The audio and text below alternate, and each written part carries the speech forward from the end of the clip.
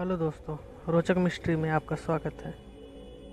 दुनिया में हज़ारों साल पुराने कई ढांचे ऐसे हैं, जिनकी उत्पत्ति या निर्माण के बारे में किसी भी पुरातत्व विशेषज्ञ, इतिहासकार या वैज्ञानिक के पास जवाब नहीं है। ये स्ट्रक्चर आज भी मानव के लिए सबसे बड़ी तिलस्म बने हुए हैं। इन स्थानों के बारे में कई वर्षों तक यह जानने की कोशिश की गई कि इन्हें किसने बनवाया होगा, क्यों बनवाया होगा या इसका उपयोग किसके लिए किया जाता था। ऐसे ही तमाम सवालों का जवाब आज भी हमारे पास नहीं है। हम आपको यहाँ ऐसे पाँच रहस्यमय स्ट्रक्चर के बारे में आज जानकारी देने वाले हैं। मैक्सिको का टिया टिहुआकन शहर। मैक्सिको सिटी के ठीक बाहरी इलाके में टिया टिहुआकन स्थित है। यह पिरामिडों की एक खंडहर सिटी है। इस जगह का मूल नाम टिया टिहुआकन नहीं है। इसकी खोज एस्टेक्स ने की थी और उसी ने यह नाम इस जगह को दिया था। दरअसल टिया टिहुआकन का अर्थ होता है place of the god. Aztecs का मानना था कि यह शहर मध्य युग में अचानक प्रकट हुआ। 500 वर्ष पहले यह जगह खंडहर में बदल गई है। हालाँकि इसके अस्तित्व को लेकर कोई भी अन्य अवधारणा प्रचलित नहीं है, क्योंकि लिखित में भी इसके बारे में कुछ भी उपलब्ध नहीं है। फिर भी यह स्ट्रक्चर आज भी रहस्य बना हुआ है। इस बस्ती को देखकर अनुमान लगाया जा सकता है कि यहाँ पच्चीस हज़ार लोग रहते होंगे। इसका निर्माण अर्बन ग्रिड सिस्टम की तरह हुआ है, जिस तरह न्यूयॉर्क का हुआ है। यहाँ एक पिरामिड के अंदर जितनी भी हड्डियाँ मिली हैं, उसे पता चलता है कि बड़ी संख्या में यहाँ इंसानों का बलिदान हुआ होगा। अजरक ओएसिस वेल, ब्रिटेन की रॉयल एयरफोर्स के पायलट मैटलैंड ने 1927 में जब उड़ान भरे थे, तब उन्होंने पहिए के समान बयासी फीट से 230 फीट व्यास की ये सैकड़ों आकृतियाँ देखी थी।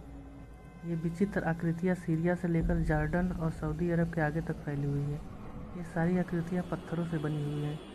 रेतीले इलाके में इन आकृतियों के बारे में पुरातत्व वैज्ञानिकों का कहना है कि 2000 वर्ष से अधिक पुरानी है।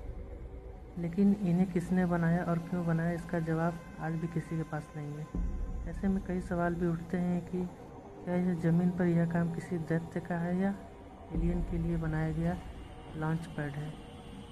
हाल ही में वैज्ञानिकों ने इन आकृतियों के पैंतालीस हज़ार एरियल फ़ोटो लिए हैं। सी हब गैलीलियो के अंदर विशाल चट्टान का रहस्य। इजराइल के पुरातत्व विज्ञान के वैज्ञानिक 2003 से इस रहस्य को जानने में लगे हुए हैं। यह चट्टान दरअसल हज़ारों छोटे छोटे पत्थरों से बनी हुई है और इसमें 230 फीट व्यास की आकृति बनी हुई है, जिसकी ऊंचाई उनतालीस फीट है।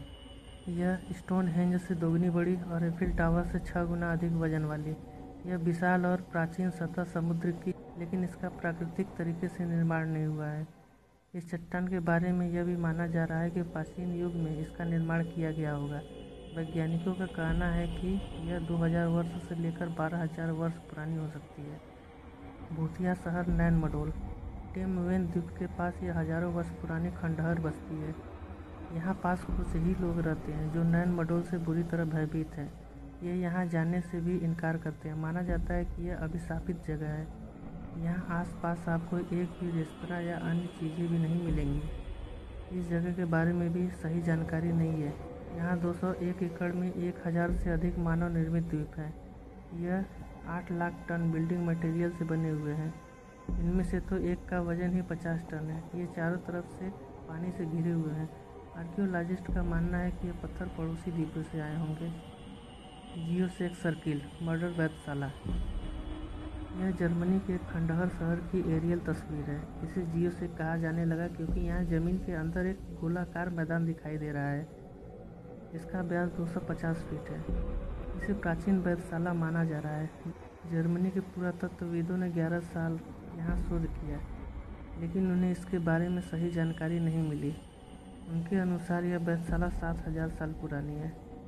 2004 से 2005 में गोसेक सर्कल को लकड़ियों के द्वारा पुनः बनाया गया तथा 21 दिसंबर 2005 में इसे जनता के लिए पुनः खोल दिया गया। और भी रोचक जानकारी के लिए हमारे चैनल को सब्सक्राइब करें और वीडियो को लाइक शेयर करना ना भूलें। Thank you